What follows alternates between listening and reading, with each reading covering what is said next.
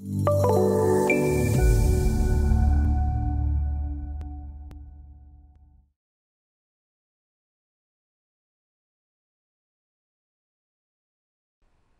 DGN file contains at least one model, but can contain many more models.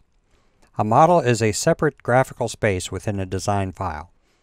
Think of a model in a DGN as a rough equivalent to a worksheet in an Excel spreadsheet. A model can either be 2D or 3D.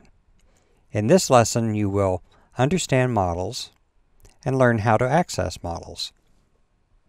Continuing in microstationbasics.dgn, let's explore. The model currently open is referred to as the active model.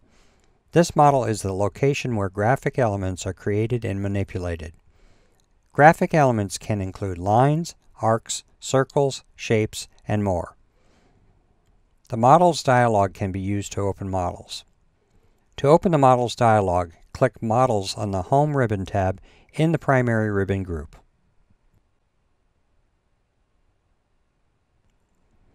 This DGN contains several models.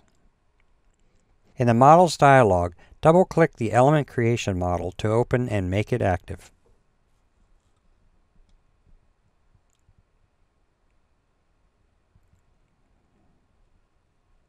The name of the active model is displayed in the title bar of the view.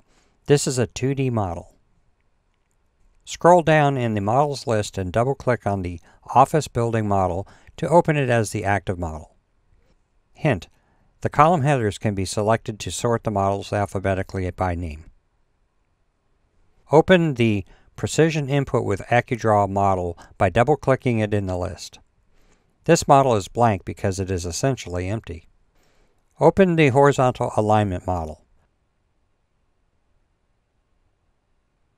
A basic roadway is displayed. Note the green arrow at the lower left corner of the application window.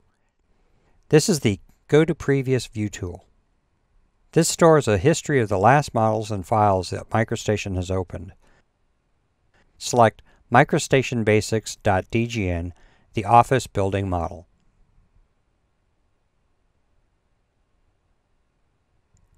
Using the green arrow, select MicroStation Basics Precision Input with AccuDraw Model and close the Models dialog.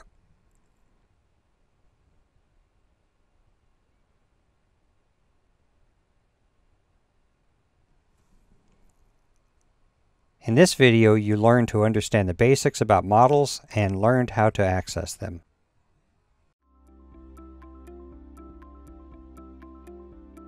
If you found this video helpful, please give it a like. If you want to see more such series, consider subscribing to our channel. Thank you and see you next time.